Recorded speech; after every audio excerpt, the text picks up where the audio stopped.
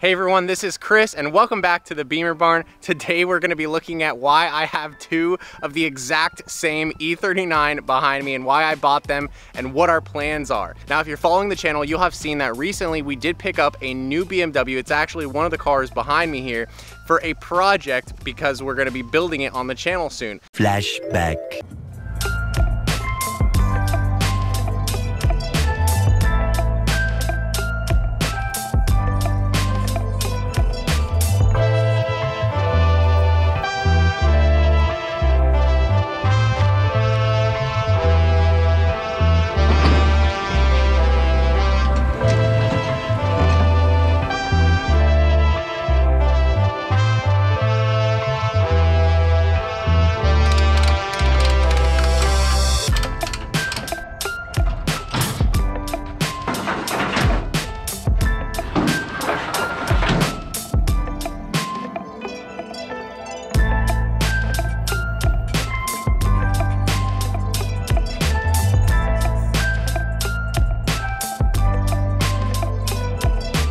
Eventually. But in the meantime, before I was able to make this video, I had a friend reach out to me and he told me that he wanted to get rid of his super high mileage E39 that's been in his family for almost two decades and I absolutely could not pass him up on the offer. So that's why I have two matching Titan Silver E39s, both of them with five speed manual transmissions and both of them with six cylinders from BMW. But after that, the differences do start to come into play. They do both have black leather interior and I'm gonna walk you guys through both of these cars and try to tell you what my plans are and hopefully you guys can help me decide what exactly we're gonna do with each of these cars. So let's go ahead and take a look. So we are here in an undisclosed location here in Florida because I've had to store this car, my 525i here for a few weeks while we took care of some other videos and the E46 wagon. This is a 528i that I most recently purchased and I'm super happy that we were able to add it to the Bimmer Barn stable because it's just an awesome example of what every E39 should be. This car is fully tip top, taken care of. But before we get into it, I wanna go ahead and show you guys the 525i that I purchased first. So here it is in all its glory. It's got this awesome OEM roof rack on top of it. It is a 525i, which makes it a facelift model. We have the style 65 wheels, I believe. I always get the five, the 65s and the 66 confused, but uh, either one of these is the 65 and one of these is the 66, obviously. Uh, so this car has, you know, the facelift motor, that the facelift interior. Uh, it is an 03, I believe, and it is Titan silver here in the front. The previous owner did have an incident uh, with the car where the door was swung open way too far, so the door is sort of bent and creased right here. And also you can see that we have some surface rust coming up from the fuel filler area. This is super common on E39s. If you have a problem like this, take care of it sooner rather than later. I'll be making a video trying to solve this problem on a couple of my cars. And it's just great that we have this car to show you as an example of what the worst case scenario looks like. So I've got the car currently on the charger because it was left here for a while without running and the battery seems to have drained itself, but hoping that we can give it a test start in a few minutes once it's done charging. And now let's look at the interior. So like I said, black leather interior. I think this is the base model interior. So you see it's not like the luxury seats or anything. Factory black piano trim, factory five speed manual, you know, facelift, everything in here. And I think we have the OBC low cluster, which is what you get on the six cylinders. Uh, so awesome interior in here. I actually purchased this car out of Kissimmee and the previous owner was daily driving it. He would drive from Kissimmee into Orlando, which is about an hour drive for work. So this car is definitely in tip-top running condition. It does have a check engine light, and that is because the secondary air pump had a fault, and then the owner decided to do a delete and basically block it off. Really quickly, I'll show you here that there is supposed to be a valve right there, secondary air pump valve, and then a hose that goes, I believe, under to the pump that should be under here under the bumper uh, but I think he got a code, got frustrated, and deleted that. Also, we see weird on this motor, it has a catch can. Um, weird. So not sure if the factory PCV is still under there, but that's definitely something that catches my eye. So otherwise, engine bay looking pretty good, pretty clean. You know, it's standard. It's all stock here. Again, besides the aftermarket PCV. So not a whole lot going on. Just wanted to show you guys, you know, no surprises in here. The headlights are aftermarket. Not a big fan of them, but you know, what are you gonna do? Now back to the inside of the car, we have an Eonon. This is the same radio as the one that I installed on my E39. If you wanna see a video about it, I'll put it up in the corner here. Uh, we got this, you know, cup holder. The interior is honestly in pretty good condition. So yeah, I I'm not sure what else to show you guys. Obviously, it does run. The battery's a little dead. Let me see. I think I have the key. Yep, let's try to start it really quick and see if the battery is charged enough. Ooh, all right. Well, she will definitely start soon, so we just gotta wait a little bit longer. You can see it's charging up. It was literally super dead earlier. There was no light coming from the dome light here. Here in the back of the car, you'll see it looks like these seats have never even been used before. We've got the BMW owner's manual, what looks like some aftermarket floor mats here. Aren't not too bad, but really the interior is in super good condition. There is a little bit of uh, discrepancies, but I think we could probably fix something like this with glue. But otherwise, you know, no tears, nothing, no big deal in this car. And it is super high mileage. It's got about like 200 and something thousand miles. And that brings me to my point about these cars being so damn reliable. 200,000 miles on a six cylinder from a BMW is just nothing. I mean, it's, it is really nothing. I, I remember the old Mobil One commercial where they took an E30 and they put it on a dyno for a million miles and they just did regular oil changes and the car did fine. You know, these things will just take highway miles, no problem. And when you buy a 5 Series with high mileage, you're probably gonna be pretty confident that someone was doing a lot of highway trips in it because it is really a, a long distance cruiser. The six cylinder gets pretty good gas mileage, so that makes this thing a great driver's vehicle. So now let's take a look in the trunk. I don't think there's any any big deal here. We do have a factory spare, which is really cool, came with the car. And these are all OEM wheels, so there is a little bit of value to these. They're actually the staggered ones. So the wheels, you know, with tires, the set is honestly probably worth like a thousand dollars. And I got this car for under $1,500. We've got some extra coolant here, you know, classic. Good, good car owners will always keep extra tools and fluids in the car. But let's see if there's the tools. I don't even know if I've even checked this yet. Yep, she's got tools in here, so that's pretty cool. You know, it's just a full factory car. So this car is pretty standard. I'd say it's your run-of-the-mill E39. It's a really good example. It's a little bit torn up in terms of the body with, you know, some of the dents on the door here. And also the paint is like super dried out and starting to crack on the hood here. And it's just not in the best condition. Same thing on the roof as well paint is just you know, probably beyond repair, honestly, which is unfortunate, but you could probably repaint the roof and the trunk for a pretty good deal. Then the problem is gonna be the gas cap right here. So this car, you know, got it for a good deal, great driver's car, but obviously for the good deal, there are some problems. Cosmetically, the car does need maybe even a full paint job. It's missing OEM pieces like the headlights and the secondary air pump system. So I would say that it's a good deal at about $1,400 that I paid for this thing. But what's funny is that that's also exactly what I paid for this as well. So this was also another under $1,500 528i. So this is the pre-facelift. It's got the older M52 technical update motor, which is similar to the M54, but it does have its differences. So here's the M52 TU. You'll see that it looks a little bit more like an M52 because, you know, the intake manifold, very different. It does have an aftermarket intake here, but I think that we have the factory airbox in the back of the car and I'm probably gonna install it. Um, and then here we have the secondary air pump which as you can see, you know, it uses a valve. Very similar placement to the M54. So overall, this thing, very similar. You know, the two motors, the 28i and the 25i, they actually both come in at around 190 horsepower, I believe. And then you've got the M54 B30, which is the 3.0 liter version of that motor, and it comes in around 220 horsepower, 230 horsepower.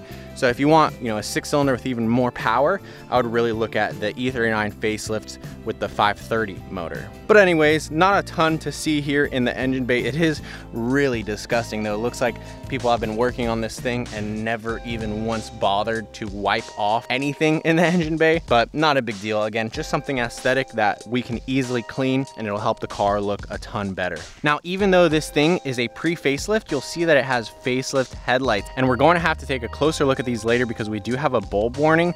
And that's because when you retrofit the facelift headlights into a pre-facelift car, you have to change the wiring up and, and do some coding, some different things if you really want that plug and play compatibility and, and all the functions there.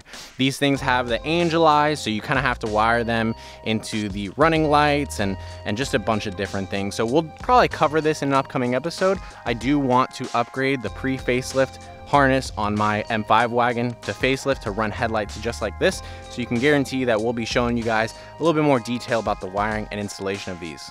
And obviously from the front, one of the best things that you can do on your E39 is upgrade to an M5 or an M-Tech style bumper.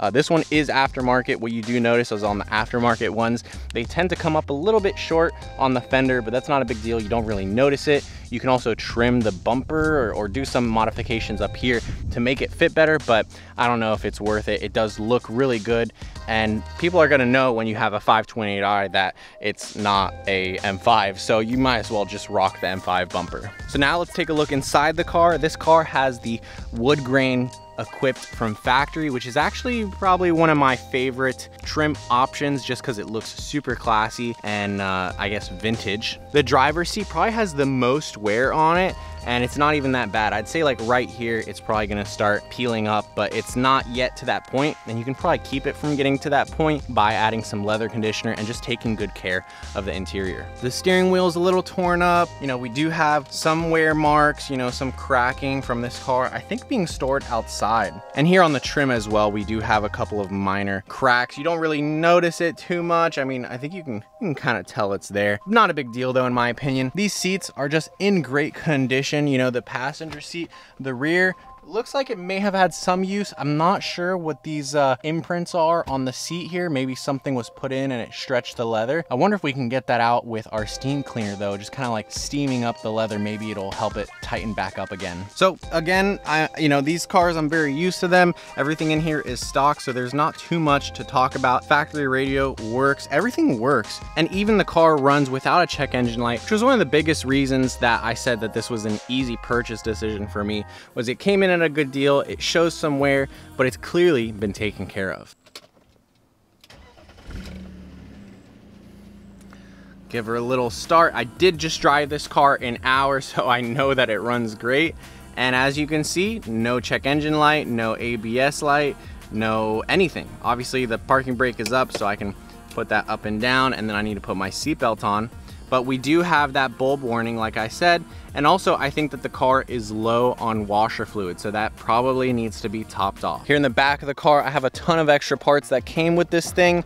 Again, this came from an enthusiast owner. They kept it for about two decades, so I've got a ton of extra parts, including the original non-facelift headlights. I've got an extra glass that he pulled from the junkyard, which is cool. I think the factory airbox is in here. Factory grills are right here and I think we even have like a window regulator. Actually some, it looks like some extra side view mirrors right here. So ton of extra cool parts for us to go through. Maybe put some of these on my eBay page because, you know, the car doesn't really need an extra set of headlights or an extra set of side view mirrors. We'll check out the toolkit on this car, make sure it's complete as well. Nice. You can see it's even got some, a little bit of rust on there. Got some age to it, like a fine wine. Oh, and while we're looking at the trunk here, uh, tell me, what, what should I do, guys? Let me know in the comments down below. Should we peel this off or should we try to paint paint it and, and put it back on with some 3M tape because I'm not opposed to either. I kind of like the cleaner look on the back of the car, but the M Sport spoiler looks pretty good as well. So maybe, maybe we'll have to take this off and repaint it and then we can re-glue it on here because it's clearly loose. Now, as far as the outside of this car goes, like I said, really nice condition. Uh, do have a little bit of surface rust here on the uh, fuel filler door, uh, but that's not a big deal. A couple of small dents on the doors here, very, very small.